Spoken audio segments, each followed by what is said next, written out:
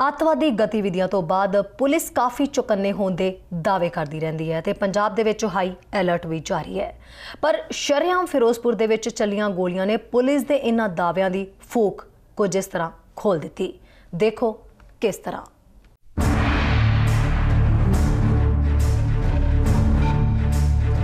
ਦਰਅਸਲ ਖੌਫ 'ਚ ਦਿਖਾਈ ਦੇ ਰਿਹਾ ਸਹਿਮਿਆ ਹੋਇਆ ਇਹ ਉਹ ਪਰਿਵਾਰ ਹੈ ਜਿਨ੍ਹਾਂ ਦੇ ਘਰ ਤੇ ਸ਼ਰੇਆਮ ਕੁਝ ਗੁੰਡਿਆਂ ਵੱਲੋਂ ਗੋਲੀਆਂ ਦਾਗੀਆਂ ਗਈਆਂ। ਜਿਸ ਤੋਂ ਬਾਅਦ ਪੂਰੇ ਫਿਰੋਜ਼ਪੁਰ ਤੇ ਜੀਰਾ ਰੋਡ ਤੇ ਦਹਿਸ਼ਤ ਫੈਲ ਗਈ।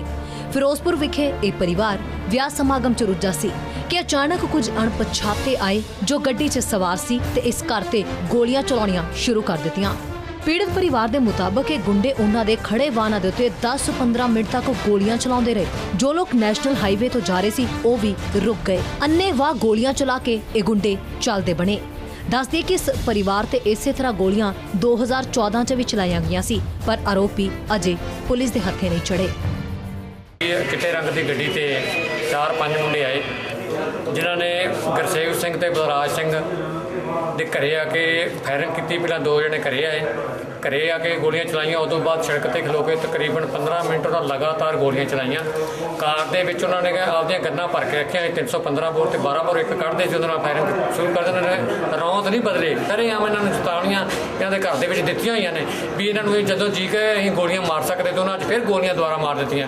ਪੁਲਿਸ ਦੀ ਨਲਾਇਕੀ ਕਾਰਨ ਇਹ ਗੋਲੀਆਂ ਵੱਜੀਆਂ ਨੇ ਨਹੀਂ ਤਾਂ ਗੋਲੀਆਂ ਨਹੀਂ ਸੀ ਵੱਜਣੀਆਂ। ਗੋਲੀ? ਨੌਜਵਾਨ ਦੋ ਗੱਡੀ ਦੇ ਮਗਰਲੀਆਂ ਬਾਰੀਆਂ ਵਿੱਚੋਂ ਉਤਰੇ ਜਿਨ੍ਹਾਂ ਦੇ ਹੱਥ 'ਚ ਇੱਕ 315 ਤੇ ਇੱਕ ਦੇ ਕੋਲ ਰਫਲ ਸੀ ਜਿਨੇ ਇੱਕ ਫਾਇਰ ਸਿੱਧਾ ਮਾਰਿਆ ਮੈਂ ਮਗਰ ਵਾਪਸ ਆ ਕੇ ਬਹਿ ਗਿਆ। ਉਸ ਤੋਂ ਬਾਅਦ ਕੀ 15 20 ਮਿੰਟ ਉਹ ਗੋਲੀ ਚਲਾਉਂਦੇ ਰਹੇ ਆ। ਸਿੱਧੇ ਘਰ ਨੂੰ ਫਾਇਰ ਮਾਰੇ ਹੋਏ ਆ ਅੰਦਰਾਂ ਨੂੰ। ਇਹ ਕਿੰਨੀ ਕਿੰਨੀ ਦੇਰ ਫਾਇਰਿੰਗ ਕਰਦੇ ਰਹੇ 10 ਤੋਂ 15 ਮਿੰਟ ਦੇ ਵਿੱਚ ਫਾਇਰਿੰਗ ਹੋਈ ਹੈ ਜੀ। ਉਧਰ ਪੁਲਿਸ ਨੂੰ ਜਦੋਂ ਇਸ ਸੰਬੰਧੀ ਸ਼ਿਕਾਇਤ ਕੀਤੀ ਗਈ ਤਾਂ ਉਹਨਾਂ ਦਾ ਹਮੇਸ਼ਾ ਦੀ ਤਰ੍ਹਾਂ ਰਟਿਆ ਰਟਾਇਆ ਜਵਾਬ ਸੀ ਕਿ ਮੁਲਜ਼ਮ ਜਲਦ ਫੜੇ ਜਾਣਗੇ।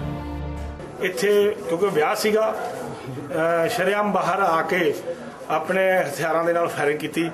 फायरिंग करके तो वो इथों अपनी कार के उत्ते सवार होकर फरार हो गए अभी हमें अ, यहाँ से पर्चा दर्ज करके तफ्तीश जारी है जल्दी हमने मुलजम क्योंकि ये इनको शक है उनको हम चेक करेंगे चेक करने के बगैर दोषियों को जल्दी गिरफ्तार किया जाए ਇੱਕ ਪਾਸੇ ਪੰਜਾਬ 'ਚ ਹਰ ਪਾਸੇ ਹਾਈ ਅਲਰਟ ਜਾਰੀ ਹੋਣਾ ਦੂਜੇ ਪਾਸੇ ਸ਼ਰੇਆਮ ਇਸ ਘਟਨਾ ਦਾ ਵਾਪਰਨਾ ਪੰਜਾਬ ਪੁਲਿਸ ਦੀ ਨਾਕਾਮੀ ਨੂੰ ਤਾਂ ਸਾਫ਼ ਝਲਕਾ ਹੀ ਰਿਹਾ ਹੈ ਕਿਉਂਕਿ ਫਿਰੋਜ਼ਪੁਰ ਇੱਕ ਇੰਡੋ ਪਾਕ ਸਰਹੱਦੀ ਇਲਾਕਾ ਹੈ ਇੱਥੇ ਇਸ ਤਰ੍ਹਾਂ ਅੰਨੇ ਤੁੰਦ ਗੋਲੀਆਂ ਚਲਾਉਣਾ ਨਾ ਸਿਰਫ ਸੁਰੱਖਿਆ ਏਜੰਸੀਆਂ ਦੀ ਸੁਰੱਖਿਆ ਤੇ ਸਵਾਲ ਖੜੇ ਕਰ ਰਿਹਾ ਹੈ, ਬਲਕਿ ਅੱਤਵਾਦੀ ਘਟਨਾਵਾਂ ਲਈ ਰਸਤਾ ਕਿੰਨਾ ਕੁ ਖੁੱਲ੍ਹਾ ਹੈ, ਉਸ ਤੇ ਵੀ ਸਾਫ਼ ਸੰਕੇਤ ਦੇ ਰਿਹਾ ਹੈ।